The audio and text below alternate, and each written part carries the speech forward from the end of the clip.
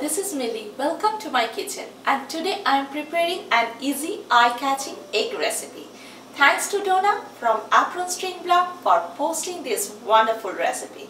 It's a super quick breakfast recipe which goes well with toasted bread. So let's start this preparation. Alright, so I have here 4 eggs, 1 large onion, 1 red pepper and 1 green bell pepper. I will cut all these into rings.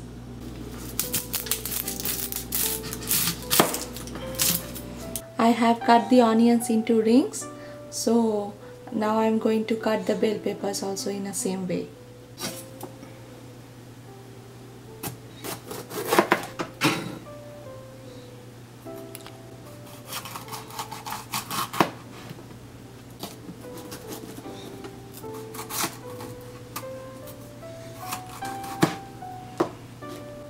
So I have cut everything into rings now. Okay so I have a non-stick pan here and I am going to spray some oil. You don't need too much oil for this preparation.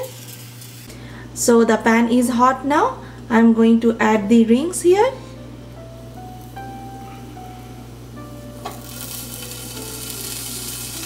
Put the heat on medium and roast it for a couple of minutes turn to the other side.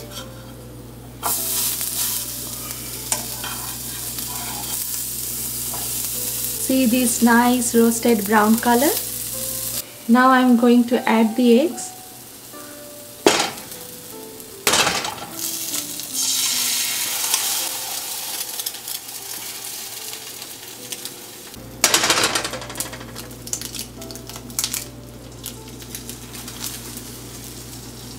sprinkle little bit of salt over it.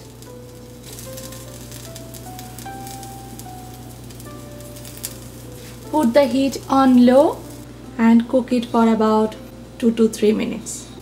Okay so it's now done. Sprinkle little bit of black pepper.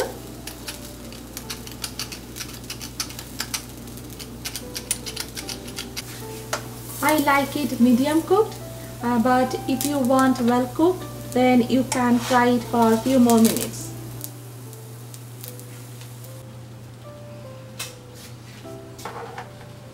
Thanks for watching this session of preparing this colorful egg dish with me.